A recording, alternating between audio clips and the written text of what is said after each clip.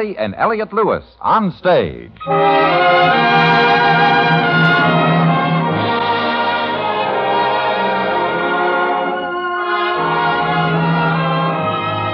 Cathy Lewis, Elliott Lewis, two of the most distinguished names in radio, appearing each week in their own theater, starring in a repertory of transcribed stories of their own and your choosing.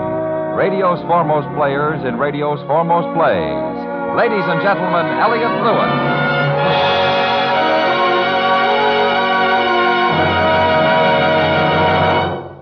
Good evening. May I present my wife, Cathy? Good evening. Anton Chekhov was a great playwright and short story writer. He also wrote some wonderful one act plays. Walter Brown Newman is a tremendously gifted young author who's written radio and motion pictures and television and about everything else that a gifted young author can write. Anton Chekhov lived in Russia and is dead. Walter Brown Newman lives in California and is alive. And tonight, we're going to do his adaptation of Anton Chekhov's wonderful one act play, The Bear.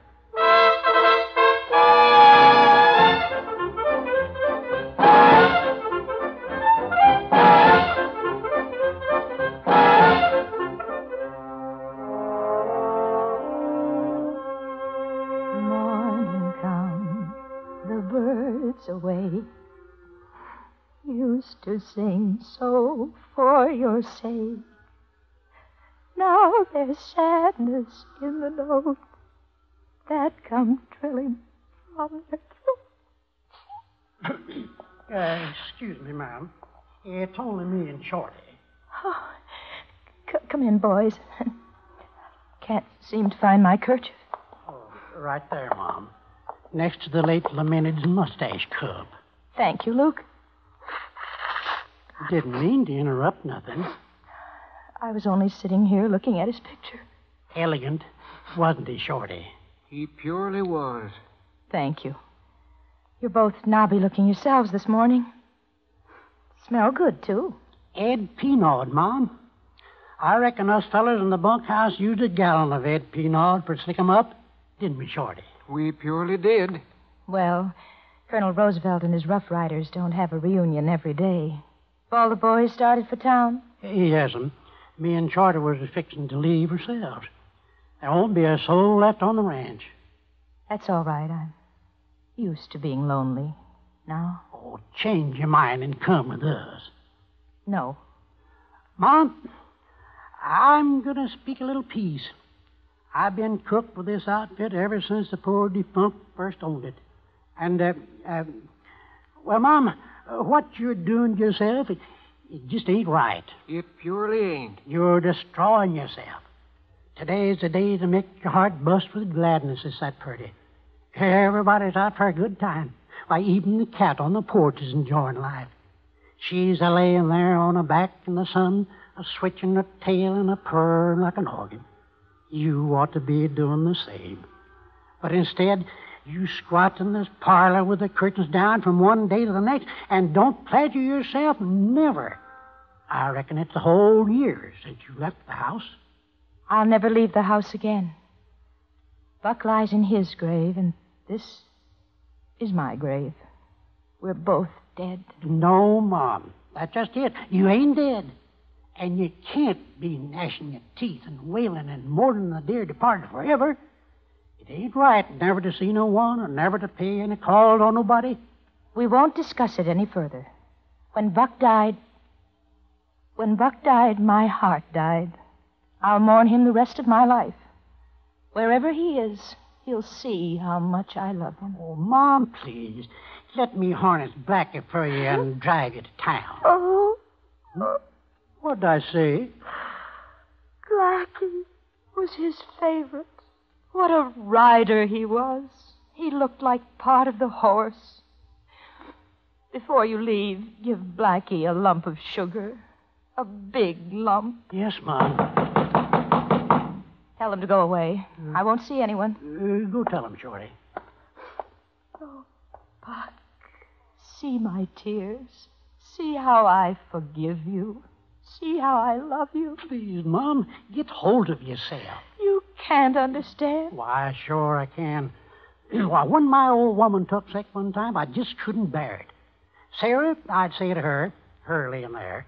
Sarah, I'd say, I wish you'd get well her or something. But, Mom, you got to get the bulge on it.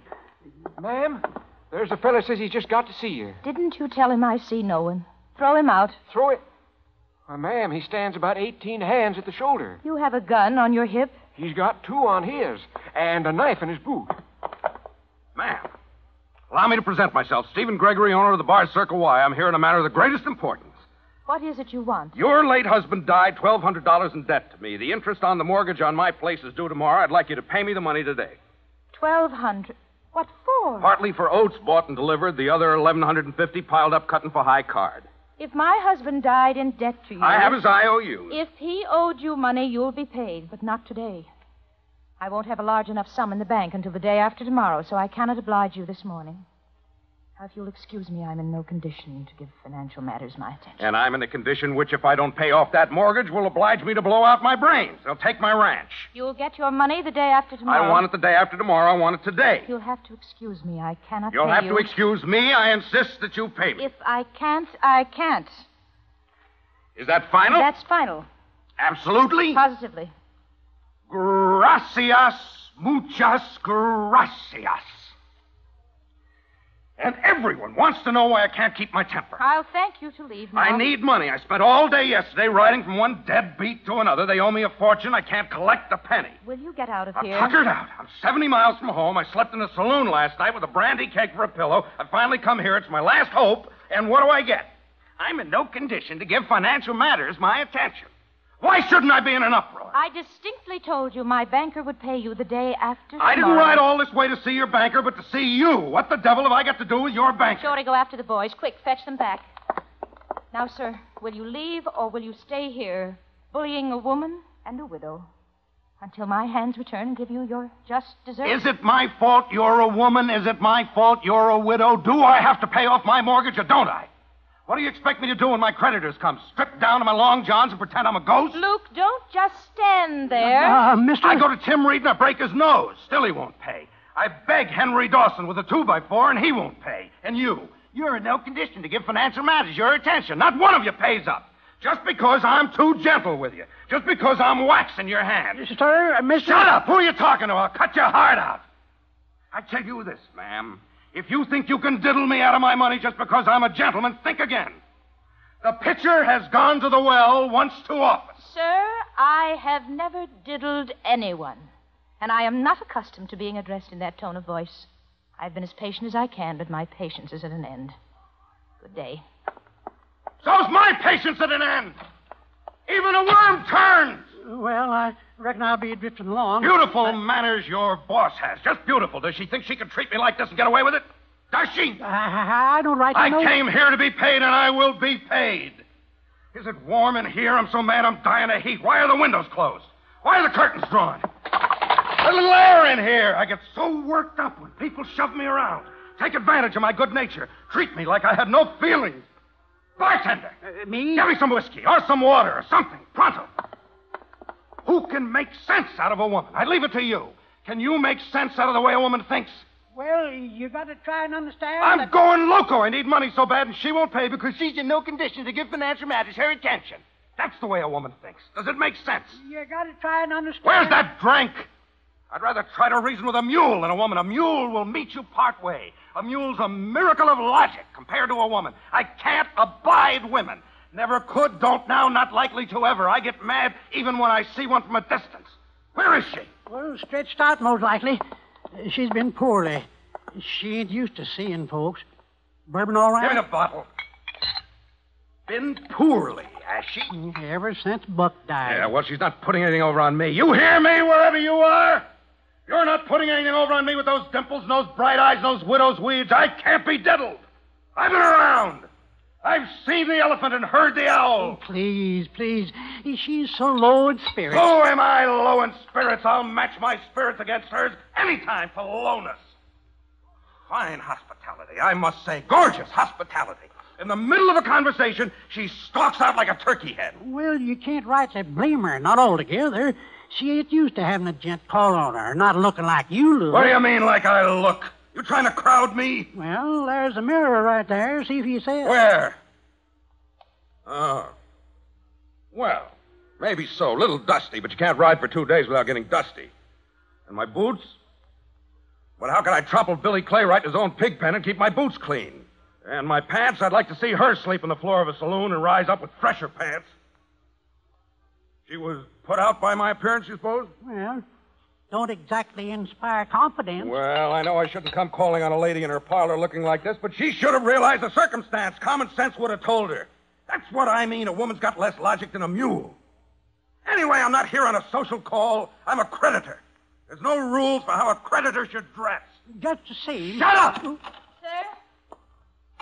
I have grown unaccustomed of late to the sound of a man's voice in this house, and I can't stand shouting.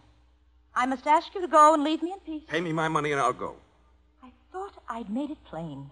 You'll have to wait till the day after tomorrow. And. I thought I made it plain I don't want the money the day after tomorrow. I want it today. If I don't get it, I'll have to destroy myself tomorrow. Who if drew you... those curtains? Who opened this window? I opened the window. I drew the curtains. You expect me to sit in the dark with no air? Am I a gopher? Answer me that. I need to breathe. How dare you shut that window? Stand aside, sir. People ask me why I get angry. Get out of my way. You hooligan! You bear! How dare you break that window? Don't try to change the subject. I'm not here to talk about windows. I'm here to get paid. I don't have the money now. And I'll sit here and wait until you do. Please. I, I'm not well. Neither am I after all the pop skull I had last night, but I'm going to sit here till I get paid anyway. Have I got a mortgage to meet tomorrow? Haven't I? You can be sick for a week if you like. All right, then I'll sit here for a week. If you're sick for a year, I'll sit here for a year. You're not putting anything over on me with those widow's weeds and those bright eyes and those dimples. I know those dimples. Now, maybe you'll understand that I won't be diddled. You bear! You bear! You bear!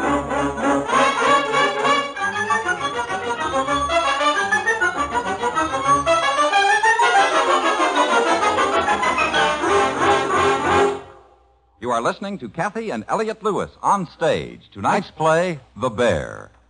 There's outstanding dramatic listening in the daytime, too, on CBS Radio. Ma Perkins and Aunt Jenny make fiction as real as life with their gripping day to day dramas. Young Dr. Malone and Perry Mason keep you thoroughly engrossed in their exciting daily adventures. Dr. Malone's in romance and medicine. Perry Mason's in the legal field he knows so well. And there are many more, making up the entire CBS Radio daytime family. They're yours for the best in daytime listening at the Star's address.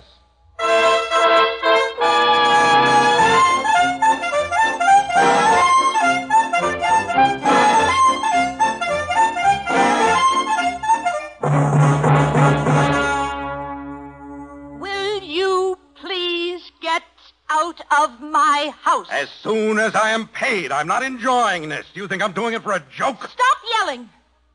This isn't a saloon. I'm not talking about saloons. I'm talking about the $1,200 you owe me and the mortgage I have to meet tomorrow. Don't raise your voice to me. Ah, How dare you behave like this to a woman? Do you call it etiquette to criticize a guest in your own parlor? I behave very well to a woman. No, you don't. You have no manners. You're an uncouth man. Decent men don't talk to a woman like that. What a business. How do you want me to talk to you? Like an Englishman? Ah, my dear, dear lady. What ripping weather. What, what?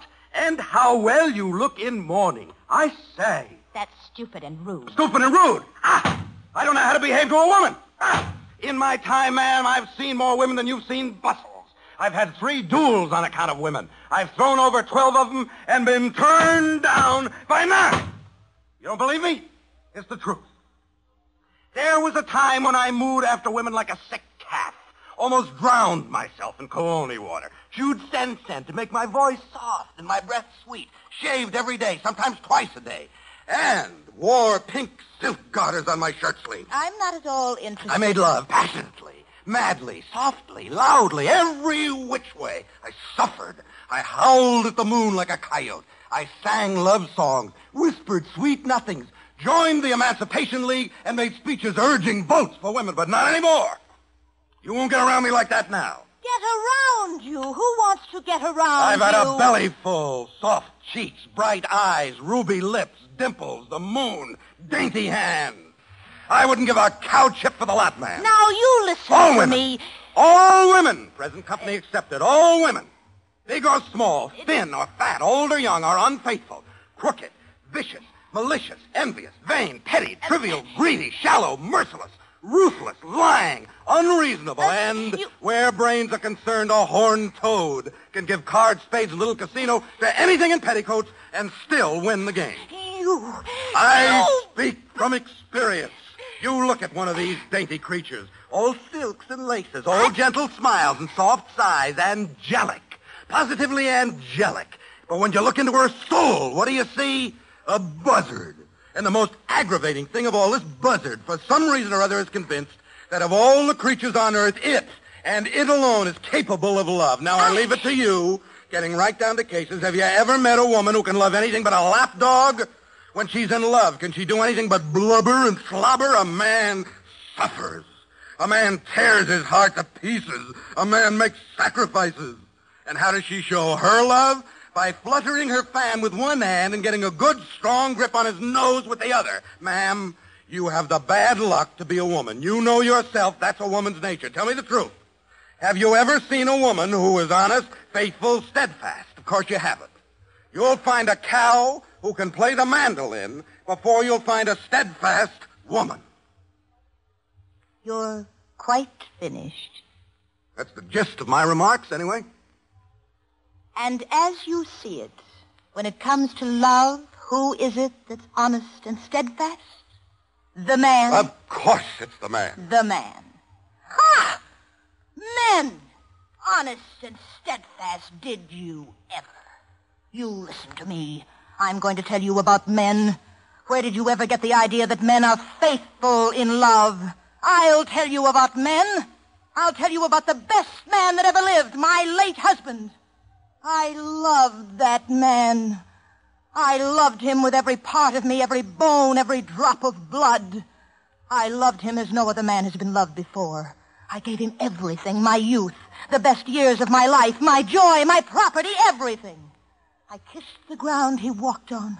I worshipped him. And how did he repay me? He deceived me. There wasn't a day he drew breath that he didn't deceive me. Luke's there. Ask Luke. After he died, I found a whole trunk full of love letters. And when he was alive, it, oh, it hurts to remember it even now. He'd leave me for weeks at a time, go gallivanting all over the country, and in spite of all that, I loved him and was faithful to him. I'm still faithful to him and true to his memory. I haven't stirred from this house since the funeral. And I'll wear mourning for the rest of my life. Ha! Morning! You think that fools me? Don't you think I know why you wear black, why you stay in the house? You want people to say, how spiritual. Are for love of her husband, she buries herself alive. What sentiment? I'm on to you, man. How dare you? you! renounce the flesh and the devil, but you curl your hair and you sprinkle yourself with patchouli. I smell it. How dare you insult me? Keep your voice down. I'm not one of your hired hands. I won't be yelled at. You're the one who's yelling! Get out of here! Pay me and I'll go. You won't get a cent. I'll be hanged if I don't. Not one red penny just for spite. Get out of here! I'm not your husband and I'm not your intended, so don't make a scene. I don't like Get it. up from that chair and get out of this house. That was my husband's chair. Get up from it. The devil with this chair. I come on legitimate business and I get insulted. I have no time to waste. And I'm forced to spend the day discussing chairs. There, there's your chair. You broke it. You broke the chair. All I want is what's coming to me. I refuse to say another word to you. Leave this house. When the cash is in my hands, not before. Where's Charlie? Where's Lenny? Charlie! Lem! Chuck! Lenny! Oh, there ain't nobody around, Mom. Shorty's gone to fetch us. Let them Get out! come. Get out! Get out! Get out! Get out! Get out! Get out! Get out! Get out! Fine, open-handed hospitality. You're a hooligan. You're a roughneck. You're a monster. You're a bear. What did you call me? A bear. A monster. A bear. What right have you got to call me names? I'll call you as many names as I want to. You think I'm afraid And of do you? you think you can call me names just because you're a woman? You think I let people call me names and take away my dignity without protecting myself? We'll shoot it out. Oh, hold on now. Oh, wait. With six guns. You're not scaring me one little bit. I wouldn't care if you were twice as big and yelled ten times as loud. We'll shoot it out! Nobody insults me and gets away with it. I don't care if you are a woman. there, there, there, there. Who says only men have to pay for insults? Who made up that rule? Women are always screaming about equal rights. All right, let's have equal rights all around in everything. We'll shoot it out. Good. With six guns. And right now. Right now. I'll get my husband's gun. You wait right here. I'm going to enjoy pumping bullets into your thick skull. Right between the eyes. Right between the eyes. I'll bring her down like a chicken. Man, woman, it's all the same to me when I'm in insulted. Oh, mister, please. Don't do this awful thing.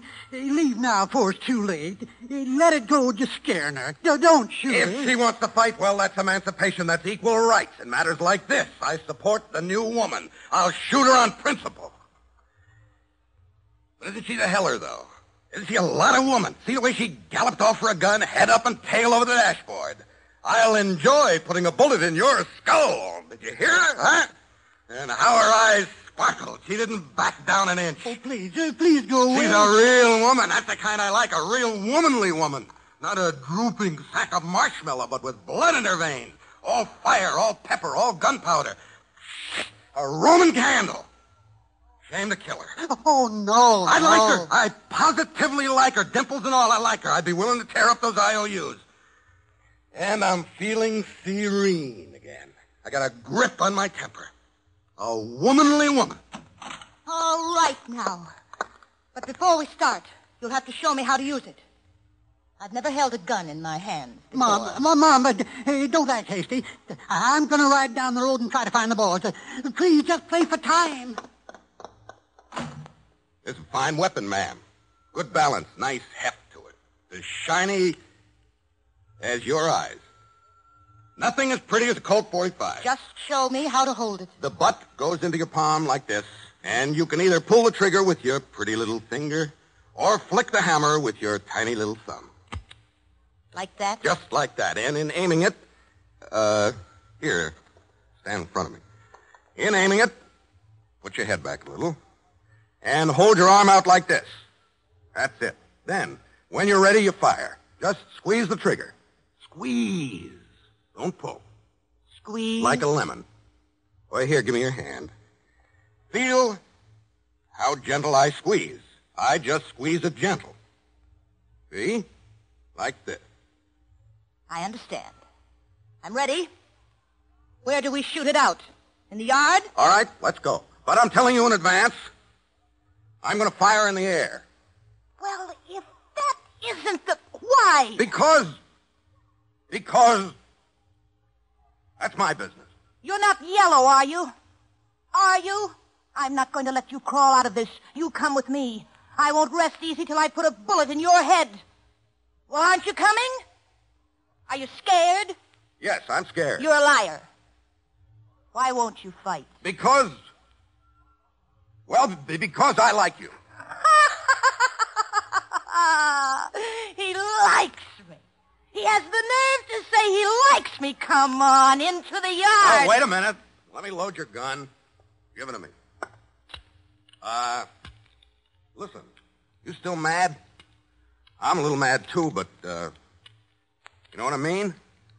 I can't find the words. Uh, the fact is, well, it, it's like this. Help it if I like you? Do you understand? It's all I can do to keep from telling you I love you. Don't come near me. I hate you. What a woman! I've never seen one like her. I'm a gone goose. I'm done for. I'm a mouse in a trap. Get away from me or I'll shoot. Then shoot. I'd enjoy being killed by a gun held in that soft little hand. You're driving me crazy. Don't talk without thinking and make up your mind right now, because if I once leave this house, you'll never see hide nor hair of me again. Make up your mind. I'm a rancher. I'm respected in the community. I have 8,000 head of cattle. I can throw six whiskey glasses into the air and pulverize them before they hit the ground. I own the fastest horse in the county. Will you marry me? I want to shoot it out. Let's shoot it out! I'm out. of my mind. I'm in love like a boy. I'm happy as a jaybird. I love you. Get up. Get off your knees. Let go of my hand. I love you as I've never loved before. I've thrown over 12 women. I've been turned down by nine, but I never loved any of them as I love you. I'm putty. I'm taffy. I'm wax. I offer you my hand, my heart, my fortune, and my life. Shame on me. Shame on me. I'm mortified as I've never been. I haven't been in love for years. I took an oath, and suddenly I'm in love like a wolf in a trap. Marry me. Yes or no? You refuse? All right then. Wait! Well, Nothing. Get out of my house. No! Stop. No. Go away. I hate you. I mean, no, no, don't go away. My head's spinning. I'm angry. I don't know what I'm saying. What are you waiting for? Get out, get out. Goodbye. Goodbye, goodbye. Where are you going? Stop. No, don't come near me. No. No. Stay away from me. I hate myself for this falling in love on my knees like a schoolboy. I love you. You think I want to love you, but I love you. It's the last thing I intended. Tomorrow I have to pay off my mortgage and stop my roundup, and here you go ahead. And, and, and I'll never forgive myself for this. Take your hands away. Get away from me. Uh, let's shoot it out. L- let's. Let's shoot. Mom! Mom! Say, be ready to shoot, boys. Mom! Look. Well, I just don't believe it. Oh, Luke, Yes, ma'am. never mind feeding Blackie that lump of sugar.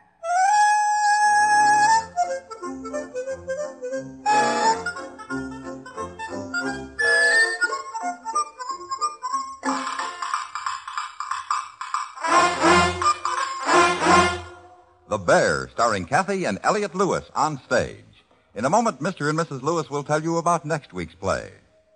This Sunday night, Frank Lovejoy stars in the remarkable talent of Egbert Haw on CBS Radio's Theater of Stars. You may find it difficult to believe this tale of a talking racehorse, but you'll find it easy to enjoy. Also Sunday night, hear Lionel Barrymore on your Hall of Fame Playhouse, spotlighting another little-known hero of American history on most of these stations this Sunday evening. Theater of Stars and Hall of Fame Playhouse, presented by CBS Radio. And now, once again, Cathy and Elliott Lewis.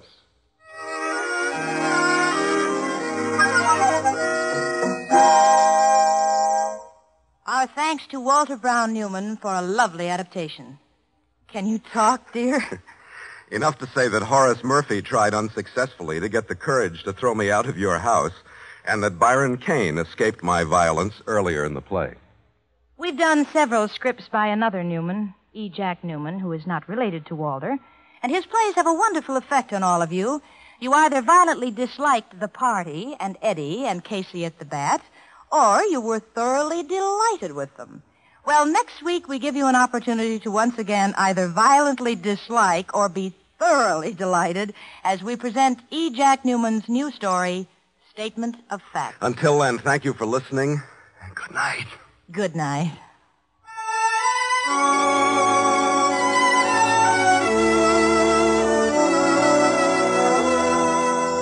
Music for tonight's story was arranged and conducted by Fred Steiner. The Cathy and Elliott theme is by Ray Noble, and the program is transcribed and directed by Mr. Lewis. George Walsh speaking. And remember, listen while you work. Enjoy Road of Life every Monday through Friday in the daytime on the CBS Radio Network.